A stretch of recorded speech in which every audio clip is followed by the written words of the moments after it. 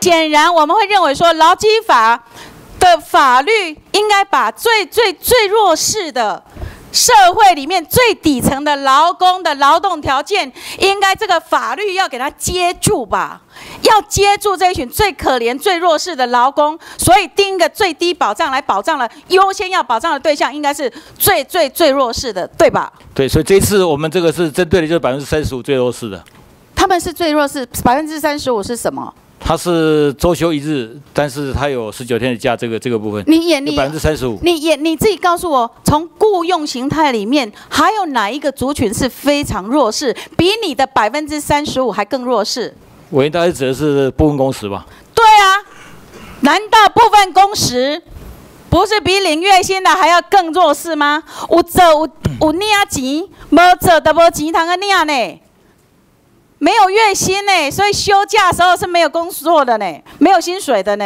那我们这次的修法里面，我们接住他们了吗？不管你是一例一休，还是拿掉七天假，抱怨部分工时很大一部分是有固定工作时间的，譬如说每天四个小时的，这个我们接住了。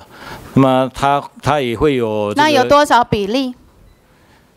多少比例每天固定都工作？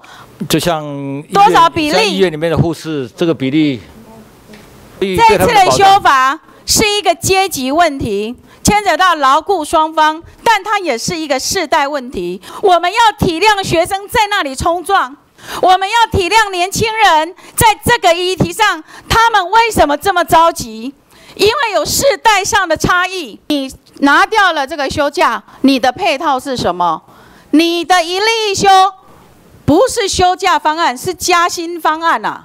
你们也都承认是以价质量嘛。但是你拿掉休假，你要配套回来。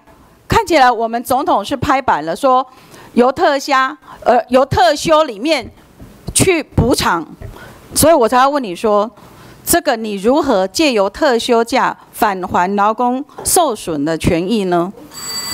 抱怨我们没有绿色立场。我还是希望说，透过我说如何呢？大家的底气都有提案嘛，如何呢？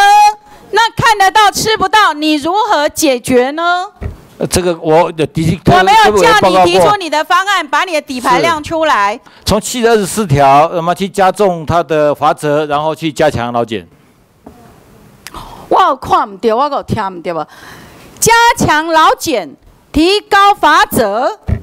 然后回到就是你知道在法院的诉讼里面，你要举证。你们明明知道，你明明知道真正的问题为什么看得到吃不到？因为劳工去告了，还要证明举证是雇主让他不休，不是他自己抛弃这个权益的。你知道这有多困难吗？